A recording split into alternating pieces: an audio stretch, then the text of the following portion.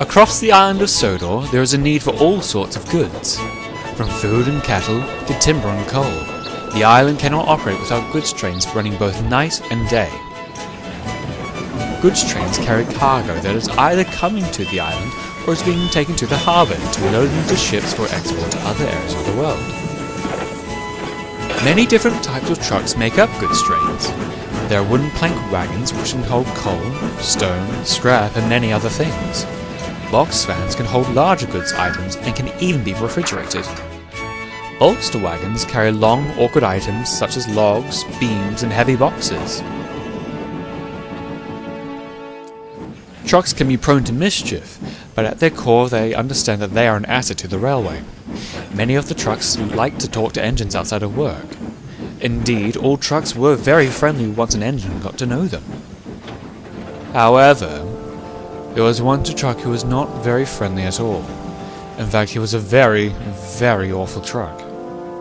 It had been said that something went wrong when his builder constructed him. A rivet out of line, or a wood piece was rotten. No one quite knows. What was certain is that he placed many engines in a great deal of danger. But one day, he went too far. The morning was brisk when it happened. A thick fog had descended on the island, and Percy the Green Engine had arrived at the quarry to arrange his trucks for the first trip down the branch line. He was very tired that morning and wasn't attending to what he was doing. The evil truck, due to his dangerous nature, had been placed on a remote siding to prevent engines from using him. But Percy's grogginess and the thick fog caused him to misjudge which siding he took trucks from. Without knowing, he had placed the evil truck at the head of his train. The foreman didn't recognize the mistake either, and loaded the wagons without objection. The time came for Percy to leave, and he pulled out of the quarry none the wiser that disaster lay ahead.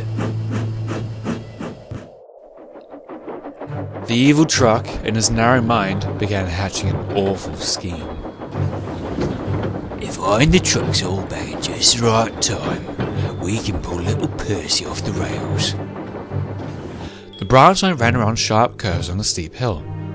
If an engine was to fall off the rails, he might slide down the hill and crash into one of the many neighbouring cottages. Sir Topham had to place fences along the track to prevent this, but the evil truck had other plans. After Percy had cleared the waterfall, he started down the first bend. The evil truck screeched on his brakes, signalling to the other trucks to hold back. The sudden force pulled down on Percy's rear coupler, picking his front wheels off the rails. Oh, oh, oh! Percy cried. Then the truck surged ahead, and with a crack of the coupling, Percy came off the rails onto the crest of the hill. His wheels, still moving, began to grip onto the sod, and he jerked forwards down the hill. The fog was so thick he couldn't see where he was going, but the evil truck knew. Goodbye, Percy. He croaked. Percy tumbled and tumbled until he saw the outline of a cottage ahead. Oh, Horace! yelled Percy. Sensing the impending crash, Percy's driving fireman jumped from the footplate.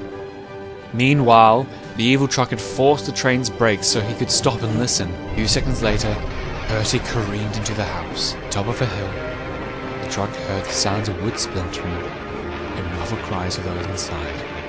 He began to cackle madly. Stupid engine, he's look where he's going next time. The evil truck gorfed.